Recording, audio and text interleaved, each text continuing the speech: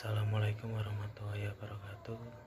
Uh, Perkenalkan nama saya Muhammad Bagus Budi Rama Pradana dari kelas 2A Tempat TE uh, Di sini saya akan mencoba uh, membuat sistem pengisian air otomatis dalam tangki.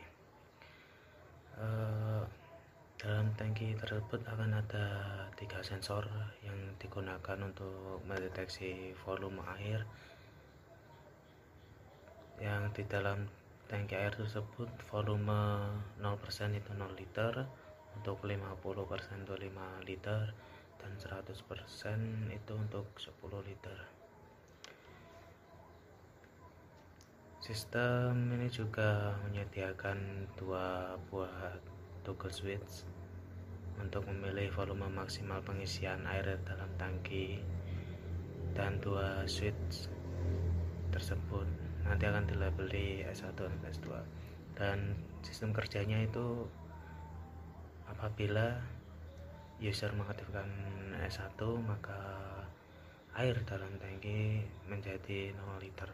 Maka pompa otomatis akan aktif dan mengisi air ke dalam tangki sampai volume dalam tangki menjadi 5 liter dan kemudian otomatis mati.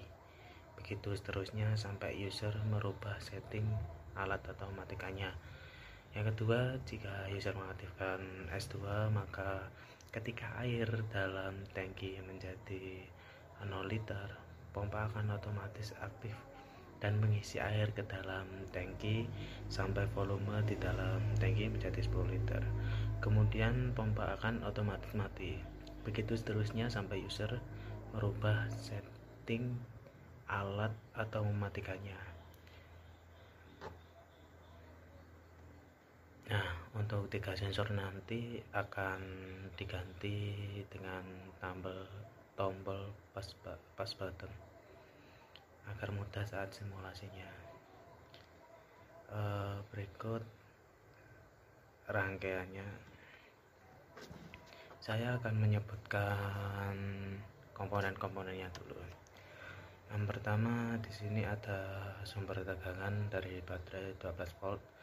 Terus di sini ada res resistor 680 ohm. Terus ini S1 dan S2 adalah toggle switch. Dan untuk 0% itu 0, 0 liter untuk 50% ini 5 liter 100% ini 10 liter ini adalah pas button yang menggantikan sensor. Dan U1 ini adalah SCR dan ini adalah motor atau pompa. Uh, berikut simulasinya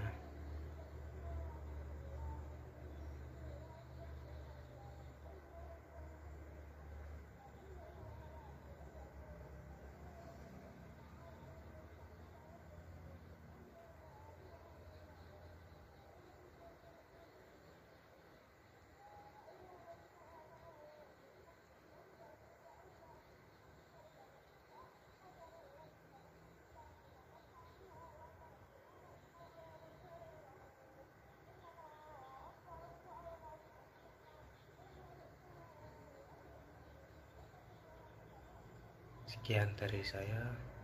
Terima kasih. Wassalamualaikum warahmatullahi wabarakatuh.